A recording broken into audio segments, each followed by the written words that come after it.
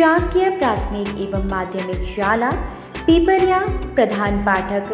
Dehariya madam ji की ओर से 15 अगस्त स्वतंत्रता दिवस की हार्दिक हार्दिक शुभकामनाएं